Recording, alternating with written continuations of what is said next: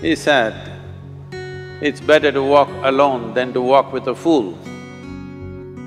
If you want, consciously you can evolve in this evening. There is no limit as to how a human being can become. This is something that every human being must do. Then coming together will be hugely rewarding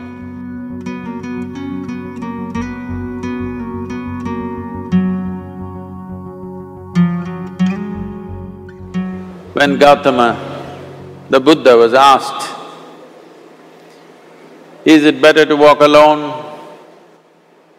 or in company? He said, it's better to walk alone than to walk with a fool. Well, that's him, not me. He was quite sure that only a fool will walk with you. so he said, it's better to walk alone than to walk with a fool. Certain lore in this country says, when you want to do a short and quick journey, walk alone. When you want to do a long journey, walk in company. But the important thing is, who is walking with you? Not always being together is a good thing. Many times, being together can be a nuisance. So, first and foremost, unless you are a twin, even then, we come alone and we go alone. If one does not know how to be by himself or herself, then being together can be a lot of nuisance. We are referred to as human beings. Human beings means every other creature is what it is simply because of what it does. But a human being can simply be, which is a unique quality of the human being, that we can simply be, that we are not compulsive action, that's what it means. Our action is conscious and judicious. But generally, when people get together, generally, people are in compulsive action. It can be an association where there could be a purposeful action, or it can be a gang where there can be more purposeful action, or it can be a crowd which can be a compulsive action.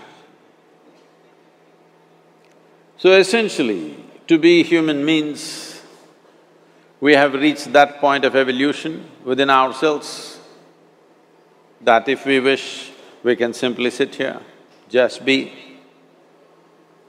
We can consider as to what action to take and what not to take. This is definitely individual. When individuals come together, we say, it's we in… in plural, but still it is individuals who have to come together. To be an individual means you are not further divisible. That means you're just one. People find different ways to divide themselves within themselves. In India, with eighteen thousand years of cultural history, we have invented various words to divide ourselves. It's very common for people to talk in terms of Atma, Paramatma, Ahankara, this one and that one. But every… every culture has this in their own way. When things are going right, when good things are being done, if you ask people, they say, yes, I did it. When things don't go right, when things go wrong, then they will try to find somebody. If they don't find anybody, he is always there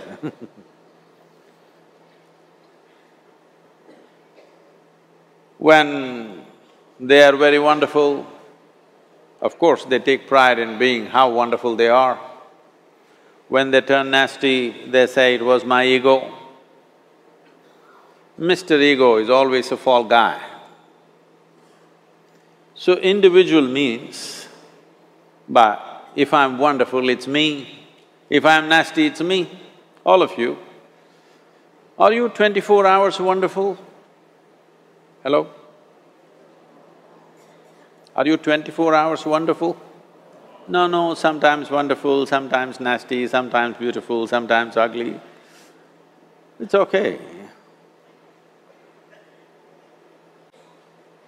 If we understand it is me who is capable of being absolutely wonderful and it is me who is capable of being absolutely nasty another moment, then gradually the number of moments of nastiness will keep on receding.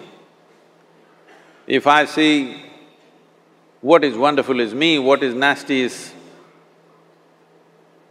In India we have many words, it's my karma, what can I do? now, you must fix this. Being an individual is very important, that means you're not further divisible. If I'm wonderful, it's me, if I'm nasty, it's me. If I succeed, it's me, if I fail, it's me. You have to fix this. I'm just asking you a simple question. Within this, how many people? Hello? How many people within you? One, two, only one. If you're one, you're normal human being. If you're more than one, you're either schizophrenic or you're possessed.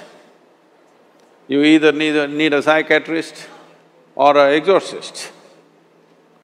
But you will see whenever things don't go right, another guy will pop up from somewhere So, becoming an individual means you killed all those pop-ups and just said, this is me. This what is me has many dimensions. If I don't see this as an individual, I cannot divide this further, then transformation will not happen. If transformation does not happen, if people come together in that state, there will be more mess than solutions. All creatures hang out together, whether it is various wild creatures, most of them hang out together. Even monkeys who are just one step behind us, they are also in bunches. It is only human being who can sit alone and transform himself or herself because this is the prerogative of being human that we can simply be. This is why you are called human being, you are capable of being you are not in a compulsive state of activity. If you want, consciously you can evolve. In this evening you can evolve if you're willing. It doesn't take a million years because our evolution is not biological anymore, our evolution is conscious. For every other creature, it is fixed. Nature has fixed two lines within which every other creature lives and goes. But once you have come as a human being, there is only bottom line, there is no top line. There is no limit as to how a human being can become. So before we associate ourselves with people, it'll be good every day in the morning or a certain period of your life, if one withdraws to spend a little time with oneself and see how, in what ways can this be little better than the way it was yesterday? This life, how it can be a little better life than what it was yesterday? Because most people are coming together for their needs. To fulfill needs, people come together. Some people come together to fulfill a purpose or a cause. Some people come together to eat, drink, and be together because they cannot be alone. This is something that every human being must do. A certain period of time, you do one thing, just twenty-four hours, take a break from everything, not today, right now you're among people. You take a break sometime, just twenty-four hours. And don't read, don't watch television, don't use the phone. Simply sit in your room, alert, not sleeping. And if you watch the nature of your mind, you yourself will certify, this is a madman. Because for most people, their mind cannot stay on any one thing. Unless they're in activity, simply they cannot be here.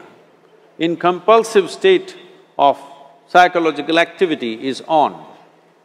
When you are like this, you cannot be that means you cannot be a human being. Being has to happen.